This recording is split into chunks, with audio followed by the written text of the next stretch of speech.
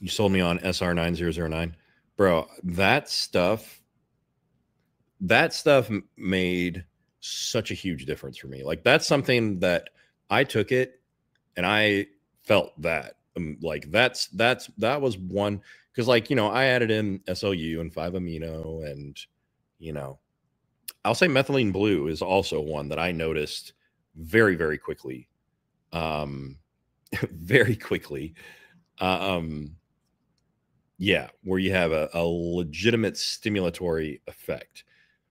Sr 9009 for sure has the same thing like slu and 5 amino 1mq those are things that i feel are more like working in the background. MOTS-c i feel the same thing about that um but yeah.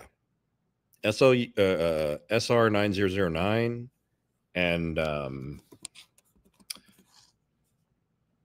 and methylene blue.